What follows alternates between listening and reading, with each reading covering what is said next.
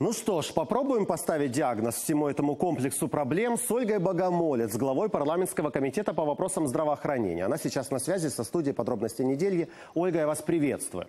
Вы один из главных лоббистов снижения проходного балла для поступающих в медвузы. Но что вы ответите критикам?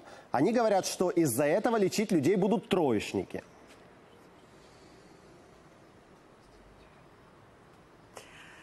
Я би хотіла розділити е, мухи окремо, котлети окремо.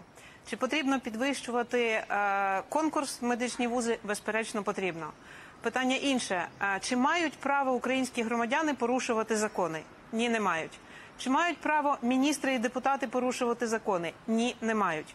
Для того, щоб підвищити прохідний бал, міністерство мало це зробити до 15 жовтня відповідно до чинного законодавства, щоб майбутні абітурієнти могли встигнути обрати ЗНО, які вони будуть складати, і обрати майбутній вуз.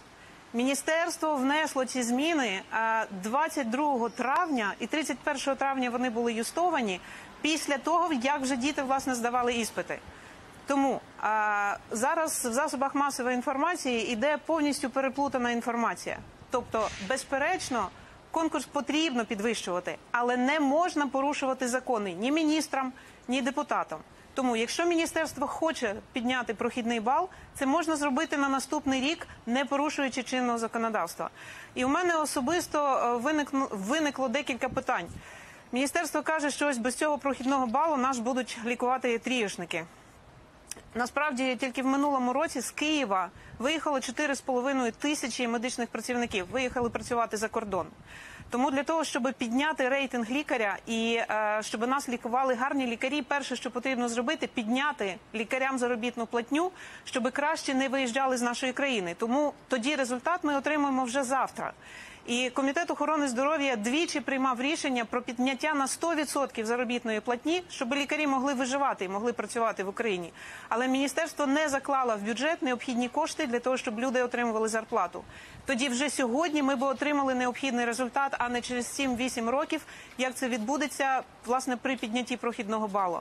Ольга, Наступне ну, зарплаты питання. врачей – это очень важная тема, но давайте пока обсудим тех, кто врачами станут как раз через 7-8 лет только. Абитуриентов этого года. Я снова возвращаюсь к этому громкому абитуриентскому Самое так. скандалу. Да, стоп. Ваши оппоненты говорят, что вот это решение о низком проходном балле станет питательной почвой для коррупции в вузах. Ну, согласитесь, проще требовать деньги тех студентов, которые не тянут. Давайте это прокомментируем, на это ответим.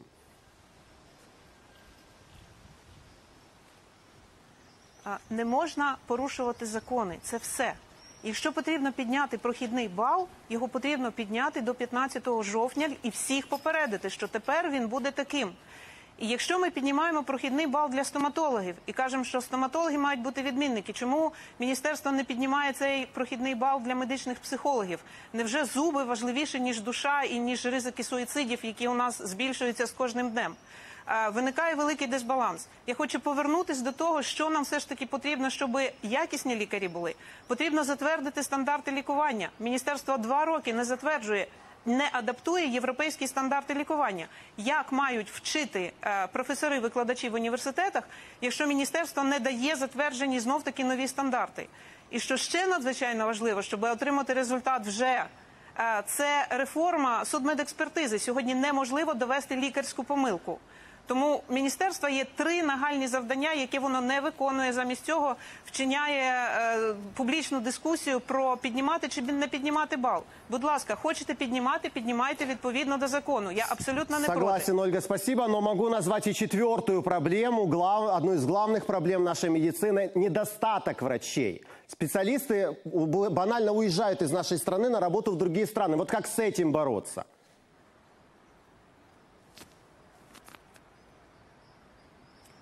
Так як я вам і сказала, 4,5 тисячі виїхало в минулому році.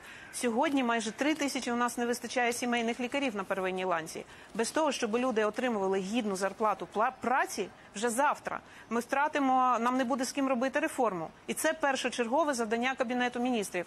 І медсестрам, і лікарям потрібно значно підвищити заробітну платню. Чому вони мають отримувати менше, ніж судді?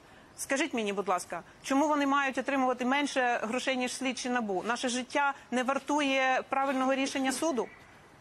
Тому це питання абсолютно критичне. І поки держава не прийме рішення, е, відповідно ні про яку якість ми можемо тільки вести дискусію про прохідний бал, який дасть якісь результати через 7-8 років. А результат Понятно. нам потрібен сьогодні. Все ясно. Спасибо, Ольга, за эти ответы. Глава парламентского комитета по вопросам здраво- здравоохранения Ольга Богомолец отвечала на мои вопросы.